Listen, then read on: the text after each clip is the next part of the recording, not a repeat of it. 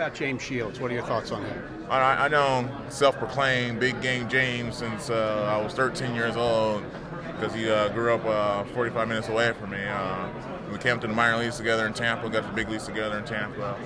Uh, he's, a, he's a competitor. He's always going to compete. Uh, he's never going to give in, and he's going to feel like he can throw a complete game shutout against us. And so what we're going to have to do is try to get him out the game early because once he gets momentum going, it's hard to get him off his uh, his ride. Is the changeup the key, or is there any one thing the key to him? All right, throw.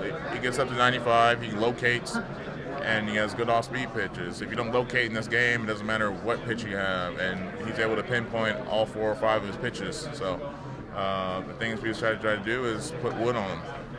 How crazy was that atmosphere in the crowd, and what does it mean to the players?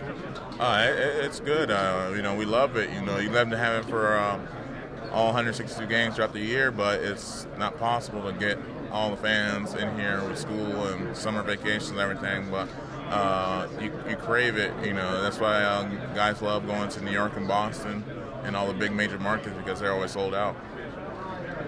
Tillman, this is, I guess everybody plays to get to this point and beyond, get to a World Series. You've been in this position before, but do you ever take it for granted? Or you, never know when it's going to happen again, right?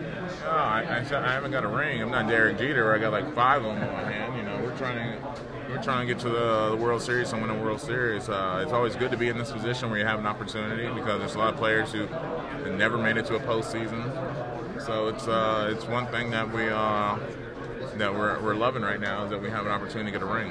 This time of year, you, uh, you've stepped on the stage before and performed. What is it about your ability to do that? Does it feel any different when you're on the bigger stage of the playoffs? It doesn't feel any different. You just know it means more because you can win a game in August August 3rd in the middle of summer that nobody's even watching and nobody cares. But right now, everybody's watching and everyone knows what it means if you win a game right now in the postseason.